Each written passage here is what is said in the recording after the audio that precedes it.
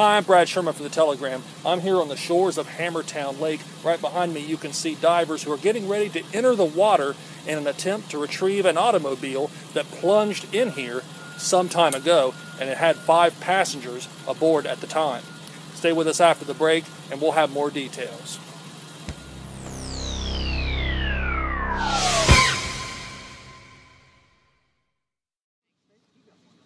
Five individuals, including a two year old child, were aboard this Chevy Blazer when it crashed into Hammertown Lake late Thursday afternoon.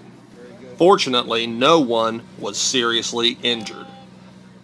Uh, they all got out of the vehicle without injury. Some were transported with possible cold related injuries to the hospital. We understand the occupants had to stay on top of the vehicle as it floated in the water for a short time before finally making a short swim to the safety of shore. So, how did it all happen? Well, a vehicle malfunction is believed to be the cause, but the investigation is still ongoing. 30 year old Angel Ewing of Jackson was the driver. Her passengers included three other adults and the one child.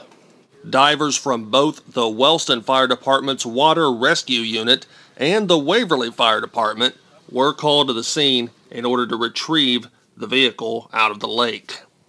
The vehicle was found around 30 yards offshore and we were told around 25 feet deep in the water. Other agencies were on the scene, including EPA representatives, as there were some concerns about the safety of the city of Jackson's drinking water.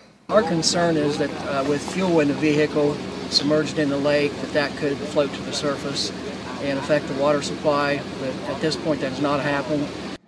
Some debris needed to be cleaned up out of the lake, but fortunately, there was no sign of leaking fuel either in the water or showing on the vehicle upon its retrieval.